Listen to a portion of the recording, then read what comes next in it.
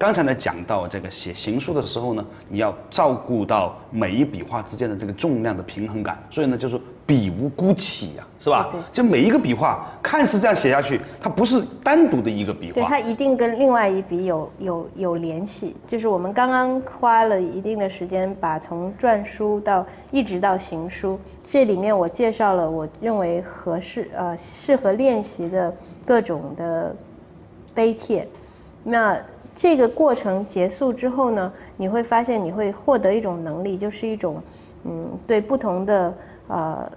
质地的笔画和不同结构的字，你都能够嗯比较熟练的掌握了，就是变换起来你也不会觉得就是和那种我我这辈子只练过一个碑一个帖的那感受是不一样的。那怎么能切换呢？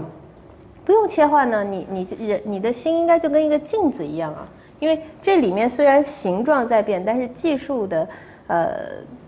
内容没有变啊，就是就是，所以中国的书法老外你知道他怎么说吗？他说是这个徒手线，就是徒手写的线的最大集合，就他们把你所有的这些每一你写的认为所有不同的笔画，他认为就是一个线。那这个线呢，大概只有三种运动方法，一种是平行，一种是上下，一种是扭转。嗯，只有这只有这只有这三种运动方式，所以所以你把它当做一个线的艺术，一个线条的艺术，你通过这个线条去传达自己的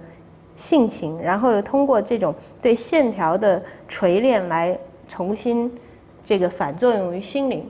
就是就是练书法就是就是这么点事儿。就核心就就是这些内容了，然后这样的练习呢，那那可能我经常会听到的问题就是我如何才能把一个字写得像？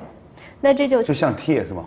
对啊，就是你跟他是能够相像的呀。嗯，就有的时候我把那个就是只在抄抄内容，但是完全跟帖不像的，我说叫抄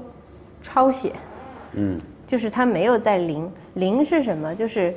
就零跟摹还不一样，零是对临，摹是摹是这个完全把一张纸贴上去，然后沿着它的边缘，然后复好像复印机一样的复印下来。嗯哼，那这些方就是如何能够像那个贴呢？这个叫入帖，就如何能进入到这个帖，而且就像你说的，这个是一个无限逼近的过程。